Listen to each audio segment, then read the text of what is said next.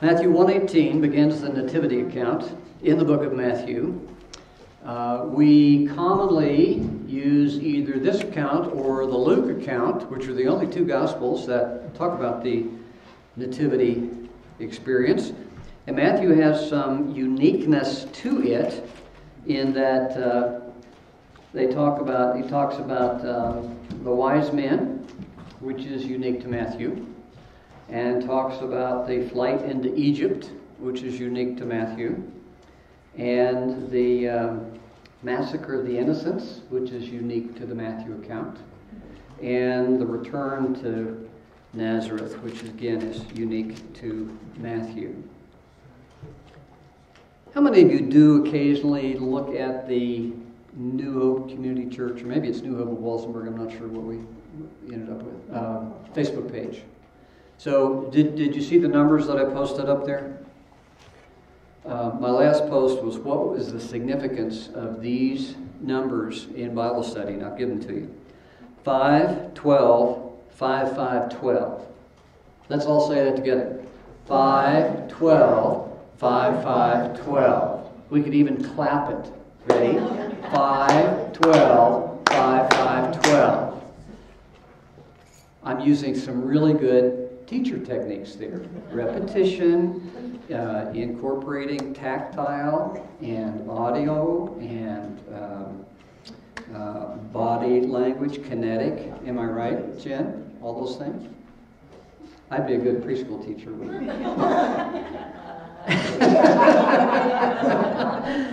um, okay, something for you to remember. 5, 12, 5, 5, 12. So 5 and then 12, and then 5 and 5 and 12. That is um, the categories of the Old Testament. They have the first five books, which is known as what? The Pentateuch, also known as the Torah, also known as the books of Moses. Yeah, very good. Also known as the first five books. the next number is 12. What would be after the Pentateuch? The tribes? The 12, 12, 12 No. tribes? 12 books of history. Okay. 12 books of history. And, it- and if you if you care to, you could go to the cheat section of your Bible, which is the table of contents. So if you don't like playing Bible drill and th- thumbing through, you can go see what page uh, to start on. So you see there's 12 books of history. And then the next five of the 12, five, or the 5, 12, 5, 5, 12, the next five is what, do you know? Poetry. The next five books are books of poetry. So the next five um, would be what? The major prophets. The major prophets. And then the last 12 of the 5, 12, 5, 5, 12, the last 12 are the minor prophets. Why do we call them minor prophets relative to the major prophets? It's not because they have a lesser message, they're just shorter. Okay? Shorter brother does it. 5, 12, 5, 5, 12. You could actually, and I haven't done this yet, but you could actually memorize the books of the Old Testament that way because we can kind of memorize chunks of 5. Uh, maybe divide 12 by 2 and, and so memorize. You, we know why phone numbers are seven digits, right? Because that's about the maximum average immediate memory capacity, uh, at least up through the 1990s. Now we can't remember diddly because it's all right in front of us. And we all know that our teachers were lying when they say, well, you won't always have a calculator with you. Yes, we do. You won't always have an encyclopedia with you. Well, yeah, we do. Uh, now, the other set of numbers is 4, 1, 21, 1. 4, 1, 21, 1. Clap it. 4, 1, 21, 1. All right? Uh, that's the New Testament. We have four Gospels. We have one history which is what? Acts. And it's actually Luke Acts, but we have divided them um, into uh, two books. Um, and 21 what? Letters. Letters. Or if you want to sound Greek, you can say epistles.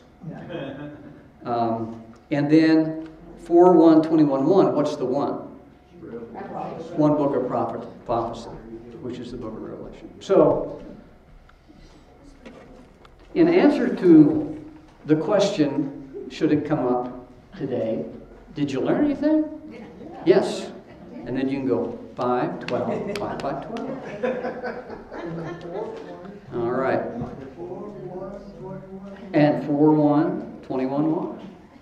So here we are uh, in Matthew. We talked quite about quite a bit about this um, genealogy, which is just really a lot more interesting than you would think at first glance, because of all that it means, particularly to Matthew, who's writing to a Jewish audience, and he wants to ensure that they understand by the time they read his account of the gospel that they understand that Christ is King, that he is God, and is the Messiah that was prophesied.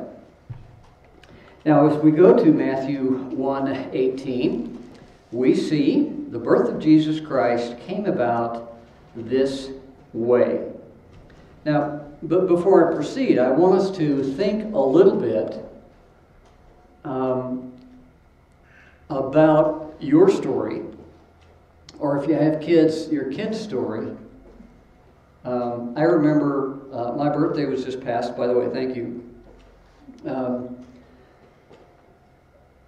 and I remember as a youngster, I don't know, five, six, seven, eight maybe, um, I asked mom about the day that I was born on my birthday. And apparently it was kind of in the middle of the night, so I apologized for that. And um, she, it wasn't too much of a dramatic story.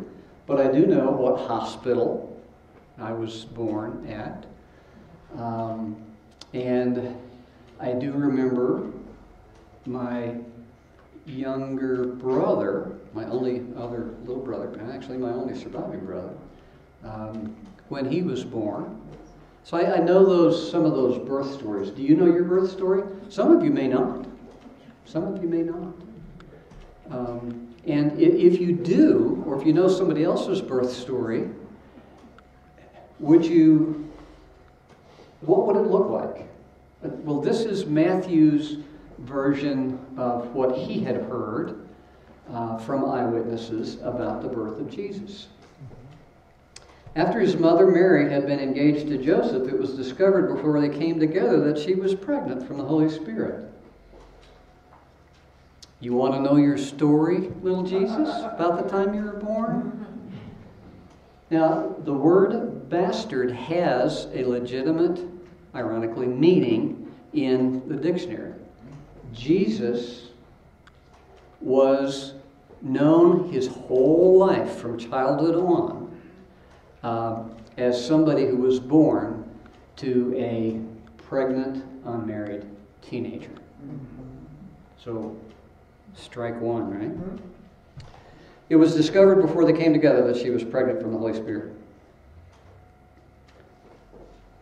You know, there's so many times when we tell these precious little Bible stories to little kids, and they don't, it just, it doesn't occur to them that there's some scandal and really difficult things involved. And I think I told you when we were talking about the account of Noah, we, we, we love to tell the story of Noah to the kids and the little bouncy boat and the giraffe sticking its neck out. And we don't tell about all the dead bodies floating around the boat from the complete destruction of the planet.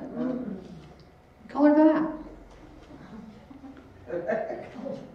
So her husband Joseph, being a righteous man and not wanting to disgrace her publicly, decided to divorce her secretly. But after he had, and, I, and again, I, I don't, now I, my, my family, my mom, uh, our whole, the, the first birth was um, a scandalous birth. Um, you know, having grown up in church as far back as I remember, uh, it took me a little while to do the math between my parents' anniversary and my sister's birthday. um, and it's, it's really it's not that big a deal now. Um, but that's how my family started out. Um, so, but I didn't know that, and they I don't think they really wanted me to know that. Of course, my folks didn't talk about a whole lot of things. I didn't realize that they'd had a, uh, an infant die uh, until I was looking through a picture book one time when I was nine or ten. I said, "Who's that?" "Oh, that's your brother Michael. He died when he was whatever, 18 months old, three weeks, three months."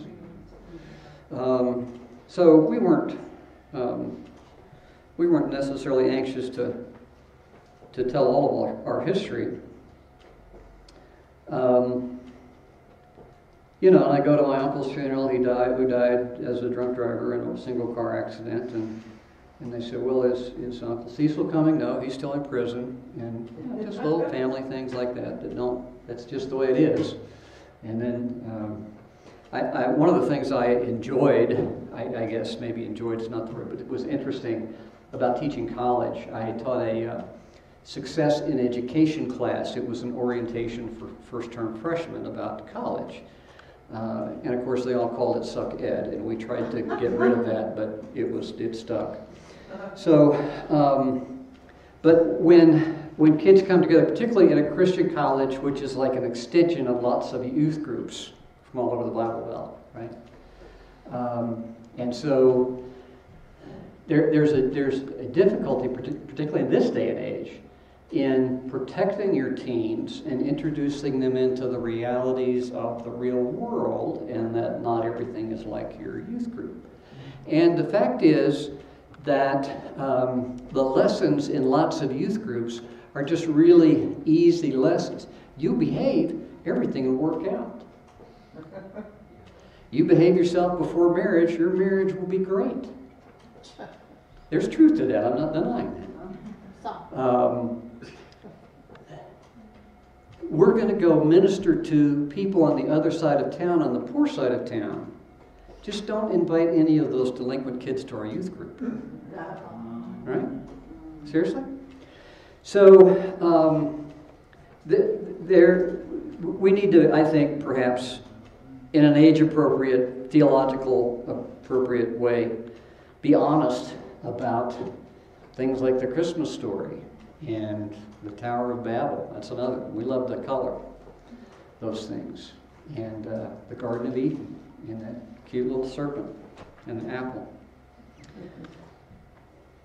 So already, and we understand that the um, engagement process in this day was basically marriage without the cohabitation. So it was a very serious legal, moral, social, cultural agreement. It was no small thing. It was not like, well, we're breaking up. The, so you notice that there, there actually had to be a formal divorce because there were already things that were invested in the family and in finances and in, in uh, one of the things that a prospective husband would do is to go build a house, or even, even if it was just an addition on the parents' house, for the bride to be. And when Jesus later says, "I go to prepare a place for you," that's what the that's what the the husband, the person that made the proposal, was going to. He, he you go get your act together, then you come back, and then you have the bridal feast. Um, a great a great study in and of itself. And so um, this was not just, oh, it's a breakup, it's a messy breakup. Did you hear about Joseph? And yeah, Mary's been running around. I thought she, I thought she was a decent little girl. Um, so it was a big deal. And it was very gracious, I think. Um, the, the scripture says because he was a righteous man, he didn't step back and say, Whoa, I didn't have any responsibility for this. I can't believe she cheated on me. I, I, I, I, made a mistake, you know, I'm going to I'm gonna separate myself from her. He still cared enough about her um, to just let this pass and let it kind of be a nice, quiet thing. Or, we don't know that much about Joseph, and it could have been that this was such a grievous, ego crushing, culturally, culturally disastrous event that he just didn't want anybody to know. Um, and as soon as he found out, he might have been kind of like King David. Let me get separated from this so that when the pregnancy becomes visible, they won't think it has anything to do with me. I don't know. Um, but after he had considered these things, an angel of the Lord appeared to him in a dream. So God let him stew about this a little bit. Right? It was not an immediate revelation. The Lord appeared to him in a dream. We're going to see dream appearances. Um, we know that, that there are um, God appearances, theophanies, if you will, messages from God. Sometimes it's an audible voice, sometimes it's a vision, sometimes it's a dream. It's not really a dream uh, personal message very frequently, but we see it several times here in the first couple of chapters of the book of Matthew. Uh, angel of the Lord appeared to him in a dream, saying, Joseph, son of David, don't be afraid. Now, keep in mind that Matthew's writing to this Jewish audience. And so every time you see something that refers to the Old Testament, whether it's a genealogy or a custom or a pattern uh, or a verse, that, that's just Matthew's way of driving home this point that Jesus is a fulfillment of prophecy. Joseph, son of David, throw that in there. Don't be afraid to take Mary as your wife because what has been conceived in her is from the Holy Spirit. Now, that does nothing to solve Joseph's uh, ego problem or social standing or get rid of the shame associated with that event. Um, but God's just saying, I'm in charge. She will give birth to a son, and you are to name him Jesus. Oh, good. Something else I don't have any control over. Because he will save his people from their sins. Again, that's an allusion to Old Testament prophecy. Now, all this took place to fulfill what was spoken by the Lord through the prophet, and then it quotes the Old Testament. I don't know if yours is in bold print or italics or uh, indented, but this is an Old Testament um, recitation. See, the virgin will become pregnant and give birth to a son, and they will name him Immanuel. That's why we sang that today. Which being translated God with us. That's right. And that's the rest of the verse, which is translated God is with us. Now, just as an aside, if you go back and look at the origin of this verse, and I believe it's out of Isaiah, I could be wrong. Isaiah 7 14. But in any case, it's, it's an Old Testament. In, in, the, in the circumstance where this was stated by the prophet, it did not look like it was a messianic prophecy it was talking about somebody else that was going to be born of a virgin young woman. Okay? So, what we see in some biblical critique is, is a critic would look at this and say, You're just trying to mash this into a prophecy because you want it to look like it's a legit prophecy, but if you look at the context, it's not really. Well, listen, there are lots of dual meaning prophetic statements in the Old Testament. Um, and so they could apply to something now and something later, or something symbolic and something literal. So that's not. This is not going to throw me off. And there are lots of subtle, um, contextual prophecies in again not just words, but in patterns, in people, all kinds of different shadows of meaning in the Old Testament that have prophetic value. So this was something that would have been meaningful, would not have been misinterpreted by a Jewish reader who knew the Old Testament as something that was, they would say, oh, yeah, sure, that's, I could see that being a messianic prophecy. When Joseph woke up, he did as the Lord's angel had commanded him. He married her, but he did not have sexual relations with her until she gave birth to a son. That is also often a preschool edit and he named him Jesus.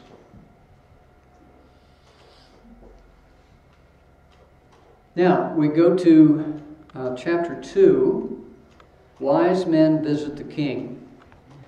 I know that we have heard a ton of Christmas ceremonies or, and, and sermons and uh, cultural icons and songs. One of the things that is important for us as Christians embedded in a certain culture is to look at Scripture to understand the truth of an event that is recorded in Scripture. Because if, besides the Santa Claus and the elf thing, and I don't know how you dealt with that in your family, um, I'm a little troubled by people that go way overboard on Santa Claus and way overboard on the Easter Bunny and way overboard on the Tooth Fairy. And oh, but Jesus is real. A little mind-boggling for a kid, I think. Uh, I came out okay. Um, and you know, I grew up in the Ozarks, so the Tooth Fairy was very, very busy. Until you're about 35, and then. Um, but, so true or false, were there three kings? We don't know. There were three gifts. There was a song about three kings. And were they really kings? Or who, who were these people? Now, you've probably heard the historical setting. But let's talk about this for just a little bit, and then we'll, then we'll close. Um, do you remember any character in the Old Testament who was a member of a uh, mystical group that knew about dream interpretation and foretelling the future? Daniel. Daniel. Daniel. Um, so these guys, a few hundred years later, were descendants of that same group of mystics. And not only did they have um, the reputation for having spiritual power, uh, necromancing, talking to the dead, astrology, reading the future and, the, and meanings in the stars, and um, um, seances and those kinds of things. Now, Daniel didn't do any of that silliness.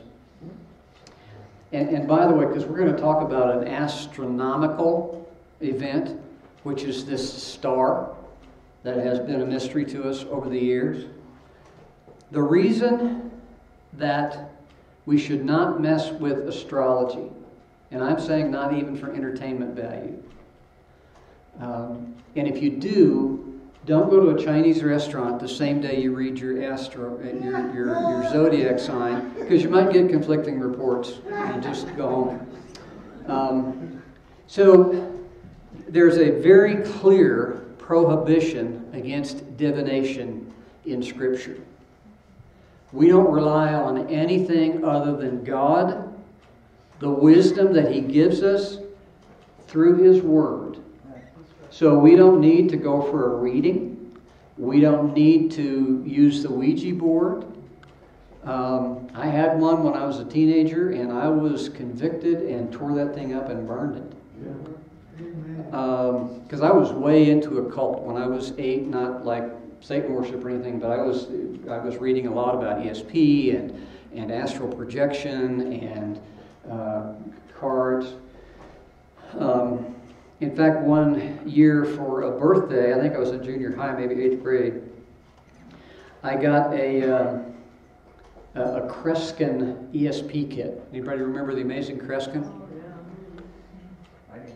And um, we were in, in class, and I think this might have been a, either a teacher sponsored event or she was letting us do whatever we wanted to do. Mm-hmm. And you know, they, they had these cards. One's got a circle and a star and a, you know, different shapes, square, triangle.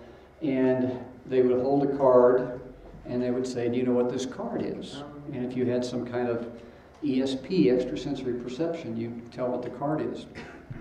Well, I was on the other side and somebody else was holding the card. The class was behind them. And they would hold a card up and I would say what I thought it was and they'd put the card down, and then the students would gasp a little bit. And I would guess this card. No, they put it aside, but the next one that appeared, the students would gasp a little bit. And for like 10 cards in a row, I was guessing the next card rather than this card. Now, I don't know if that means anything, but I think it may because I've been a little off all my life. Just missed it. But we don't mess with those things once we come under conviction. We don't mess with those things because we don't need them. And it shows a lack of faith. I told you about my brother a little bit uh, when his son was murdered, and the, uh, he had a picture of the accused murderer, and he would pray that God would render justice, and he would also bury the picture upside down in his backyard because that was supposedly a ritual that would bring a curse on the killer. And I said, Phil, I don't understand what you're going through, but you can't try to talk to God on this side of your mouth and talk to Satan on this side of your mouth. So, do we do that? Do we do that in, in, some, in some way?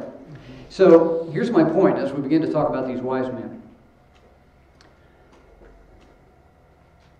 We're, we're not, this is a theory, I, I can't prove it. We're not necessarily told not to try to read the future in the stars because it's, it's bogus because there may be some truth. There's some scriptural references that might give you an indication that God really does speak in the stars. Um, and some anthropologists will tell you that there are disparate cultures that never had any contact but had the same zodiac system and the same general names for the signs of the zodiac. And these stars in, in the ancient world, I'm told, have um, significance by their position. They have a number attached to them, they have a letter attached to them. And so their names come from that kind of numerology uh, mystery rather than the shape. There, there, you can't tell me there's a guy that looks like Orion or a bear uh, or a scale or a crab. You can't connect the. I've done enough connect the dots at Denny's with the kids' meal to, to, to know that that doesn't make sense. It does make sense that there's a more mystical thing to it. So, I don't know if that makes sense. But what I'm saying is, um, these people had a, a gift of study, whether it was intuitive or psychic, I don't know but they had the gift of studying these signs and history, and they knew that at some point some king was going to be pointed out by some astronomical sign. And so when they saw this star that we talk about, that the, that the Bible records, it meant something to them. Now, they were not only um, influential because of their uh, great wisdom and knowledge, they were academic, not just spiritual gurus. Uh, they, were, they were also a political power and a strong political power. And so, if you were to look at the history of um, this region and who was ruling what and what the geography was and, and who was in charge and who fought who, you'll see that these uh, groups, this group of people um, that, uh, that these wise men were a part of, had, had struggled off and on and had actually been real kings, real rulers uh, of these countries. So when you look at Herod, and by the way, there's a bunch of Herods in the Bible, don't get confused by them. So this particular, but there was not a good Herod. There was never a good Herod. Um, there was Herod the Great, there was uh, Herod Agrippa, there was Agrippa II, there was uh, uh, Herod Antipas or Antipas. Uh, so there are a lot of Herods, but this is the one that was uh, around at the time of Jesus' birth. So, what all of the Herods in the dynasty would do is that if they saw somebody that was rising to power or was a threat to their kingdom, and by the way, he was just appointed, this Herod was appointed by Rome which was ruling the territory at the time. And so he had a political position, so he had people that he had to kiss up to. And the group of Jews was one of those groups that he had to kiss up to. That's why they had this beautiful temple uh, that his dynasty had built, Solomon's temple. Uh, because he was trying to curry favor with the Jews. He was not Jewish. So anybody that got in Herod's way would either be cleverly politically wiped out or simply assassinated. And um, this particular Herod killed a couple of his own kids because he didn't want them to be king prematurely. So this guy was a vicious, vicious guy. And so clever and so um, astute politically. We know people that may have limited moral character, but they achieve success because they're very clever and politically astute. Don't forget to vote Tuesday. Men from the east arrived in Jerusalem, saying, Where is he who has been born King of the Jews? For we saw his star at its rising and have come to worship him. Now, astronomers have tried to roll back the clock and figure out what this was. Which, you know, Cheryl and I lately have enjoyed sitting on our uh, unfinished deck and looking at the stars at night and saying, you know, is that a satellite? Is that moving? Is that Venus? Is that a plane? Um, but stars don't move very fast. Uh, so to think that this was like, oh, let's follow that star, uh, it, it might have been a comet, it might have been just a supernatural illuminated body that directly showed them, boom, where Jesus was. Um, and I'm inclined to believe that as much as, as anything. Because remember, one of the other things that we're going to see here Remember that some prophecy is in pattern. One of the other things that we're going to see here in both the baptism and, this, and the subsequent uh, temptations in the 40 uh, days in the desert, we're going to see some parallels between some great historic uh, Old Testament events and some things that happened in the life of Jesus. And what was one way that the people of Israel were led through the desert? By a pillar of light right? So could have been the same thing. I don't know. We don't know. Nobody knows. Don't, don't let anybody tell you they know. When King Herod heard this, he was deeply disturbed, and all Jerusalem with him. So he assembled all the chief priests and scribes. Now, why would all the people be disturbed? I can understand why he would be disturbed. Oh, there's a king being born, and it was prophesied. This can't be good for me. But when there's um, if the citizenry knew anything about the king's concern, about Herod's concern, they would be concerned too, because who knows what, what, what he was going to do.